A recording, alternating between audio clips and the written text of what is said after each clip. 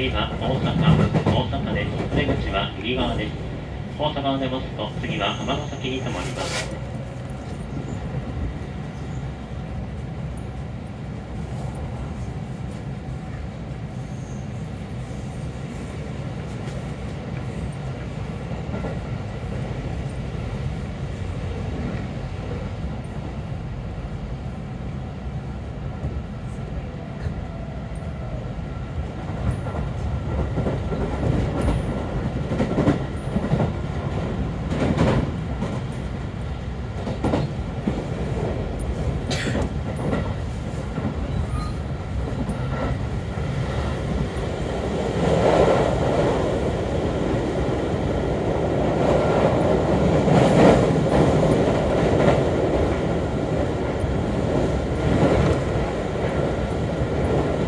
小田さんありがとうございました。まもなく大阪、大阪です。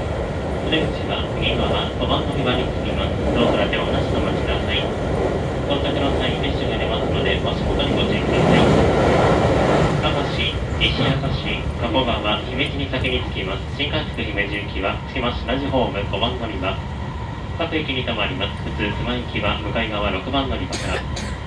大阪環状線西区町名店町方面と関西空港和歌山奈良方面の快速電車はホーム変わりまして1番乗り場京橋鶴橋方面は2番乗り場から発車いたします阪急線阪神線地下鉄線は乗り換えですこの電車は快速姫路方面青市行きです大阪を出ますと尼崎西宮芦屋住吉六甲道三宮元町、神戸の順に停まります。車内にお忘れ物なさいませんようご注意ください。今日も JR 西日本をご利用くださいましてありがとうございました。大阪、大阪です。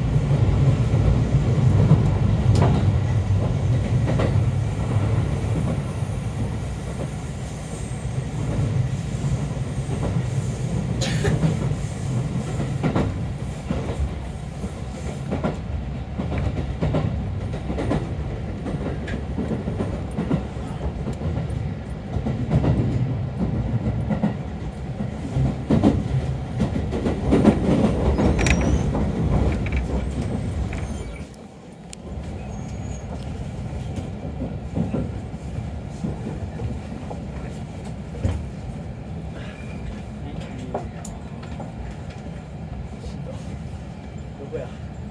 登って全然来る